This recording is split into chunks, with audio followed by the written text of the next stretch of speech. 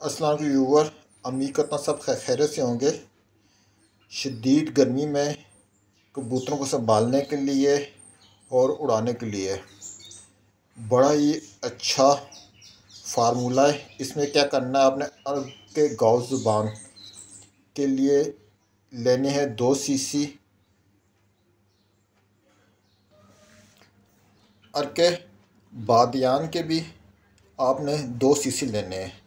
और इसमें पाँच सीसी नीम कोसा, पानी डाल के जब कबूतर को संभाल लें वो पानी वगैरह चला ले कबूतर घंटे बाद। ये आप उसे दे दें और कबूतर को छोड़ दें। कबूतर आपका पॉम पे खड़ा हो जाएगा और उसके बाद उसे खुराक दे दें। अगले दिन, डक वाले दिन सुबह दस बजे भी यही दोनों पानी इसी रेशो से कबूतर को दें। और इन कबूतर आपको बड़ी अच्छी परफॉर्मेंस दे के बैठेगा। जो कबूतर आपके दड़बों में बंद हैं, उनको आप गर्मी से बचाने के लिए एक ढक्कन अरके बादयान का और एक ढक्कन अरके गौ ज़ुबान का दो लीटर पानी में डाल के कबूतरों को दें। कबूतर आपकी गर्मी की शिद्दत से महफूज रहेंगे। हफ़्ते में तीन से चार तक इस्तेमाल कर लें।